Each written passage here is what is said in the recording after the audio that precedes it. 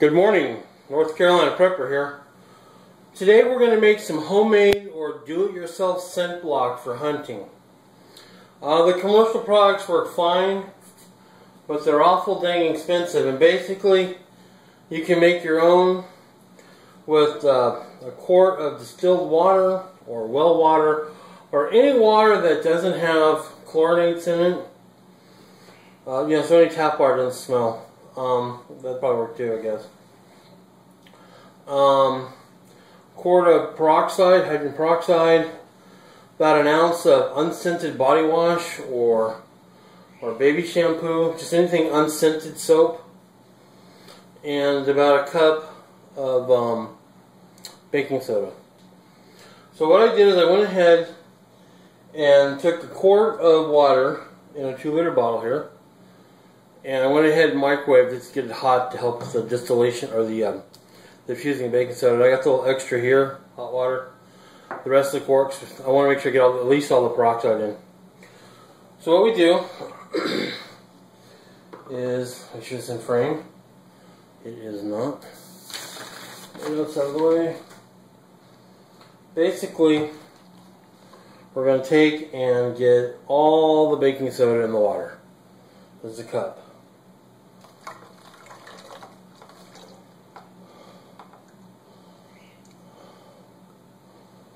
Go. And of course it did not go through.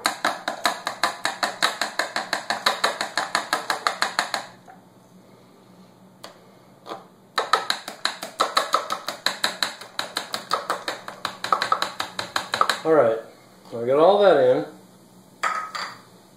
And make sure this is extremely clean. You don't want to have any soda smells in there, so I don't know what you guys drink, but whatever. I'm going to take uh, hydrogen peroxide. and we're going to dump that in there. Oh wait. First, we're going to take and shake the crud out of that. Just make sure we got that all diffused as much as we can.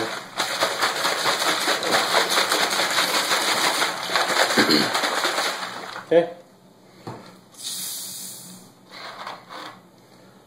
And incidentally, this will outgas over the next three or so days. So, you want to let it sit in a dark room to do its goodness. Here's the peroxide.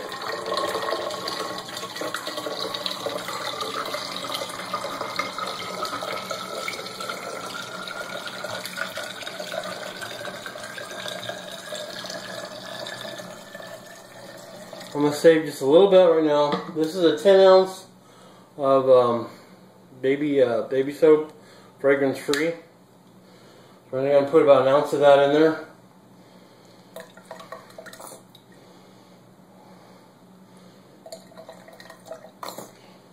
Uh, that's about an ounce.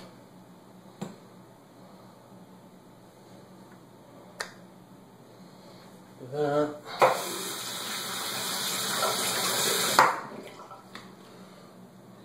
Got a little bit on there. Wash that off. Okay, so we got all the peroxide in there. Now I'm going to go ahead and shake that stuff a little bit. Actually, I'm putting the rest of the water in there. Because once I shake it, it's going to foam like crazy.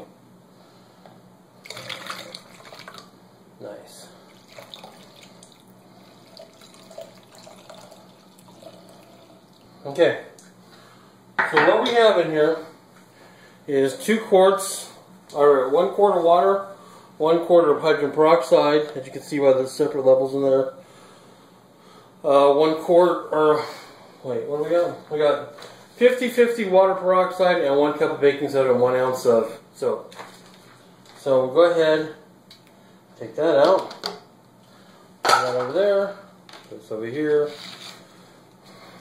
and just kind of shake it up a little bit.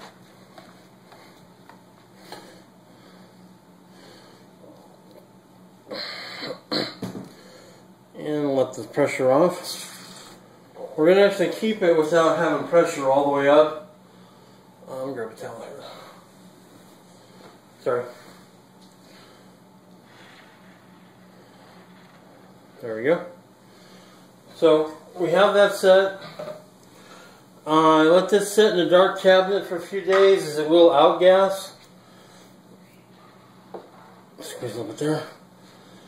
So don't tighten this all the way, but just enough so you can still have gases escaping from it because it will, like I said, outgas. Then, after about three days, you want to fill up your bottle. This just has water in it for now, but you fill this up. check my notes. Don't tighten, don't do this. Now here's how to apply it. Excuse me. Your homemade scent blocker, um, you can use it. You use it to wash yourself in the shower, your body, your hair, your entire body. Animals have a strong sense of smell. If you miss any area, let me stress that. If you miss any area, they'll smell it and they'll detect you. Now, bow hunting season's just now coming up, and when you got to get that close, that's when this stuff really, really matters. Um, don't don't put on a de- fragrant or deodorant after you get out of the shower. a lot of you hunters already know this stuff, but still. Uh, when you dry your clothes, or don't use a scented towel that's had scented detergent, wash them all with normal detergent that's unscented, doesn't have UV whiteners, etc. Um, then you want to take your clean towel and everything, you want to put it in the spray bottle, and you want to spritz down your clothes and let them dry outside um, your clothes, your boots, etc., your gear. Carry the spray bottle with you um, for your hunting. If you get a little sweaty while while hiking, actually we'll make some baby wipes later, and you could use this in the baby wipes I'm gonna make to to clean your pits when you're out in the woods. Uh, spray yourself down, spritz yourself down, spritz yourself down after you get out of your truck because your truck's going to have your smells from everyday life with you. Don't get it in your eyes, your mouth. When you're back from hunting, take a regular shower. Use regular soap and water to remove all the baking soda on you, baking soda, etc. All the chemicals. Now here's how it works and why it works. The 3% hydrogen peroxide, I said 3% right, probably. The 3% hydrogen peroxide oxidizes the organic matter uh, so it doesn't smell anymore. And it also kills off bacteria. Your armpit smells mostly from bacteria there. Um, you need the soap in there, or in this case I use baby shampoo, but unscented baby shampoo.